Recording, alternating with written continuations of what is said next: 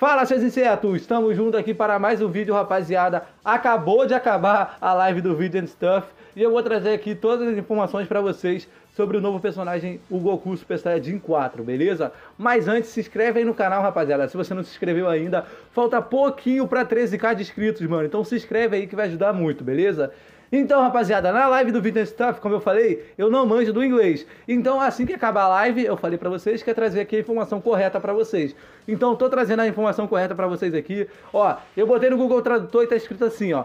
Novos personagens vai chegar, beleza. Normalmente mostramos personagens do Legends All Star, entendeu? Ele fala que normalmente no Video Stuff é personagem do Legends All Star, normalmente. Só que agora vai ser diferente, ele tá falando. Não vai ser personagem do Legend Star, vai ser diferente.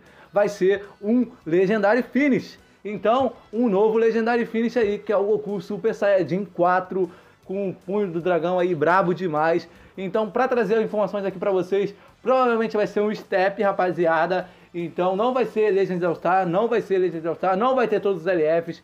Provavelmente deve ter algum outro LF aí, como sempre em Banner Step tem outros LFs além do Goku, né?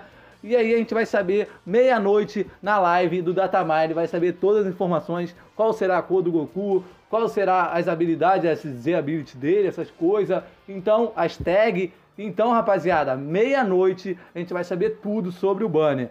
Então, hoje, hoje agora eu tô trazendo as informações aqui para vocês, porque na live muita gente ficou com a dúvida na hora da tradução. Então, tô trazendo a tradução aqui para vocês que o banner não será Legends, eh, Legends All Star, não terá todos os LFs. Então, desculpa aí se eu falei aí na live, porque a gente é horrível no inglês, beleza? Mas então, deixa o like aí, se inscreve no canal, ativa o sininho e vamos esquipar, né, mano? Porque o aniversário tá chegando.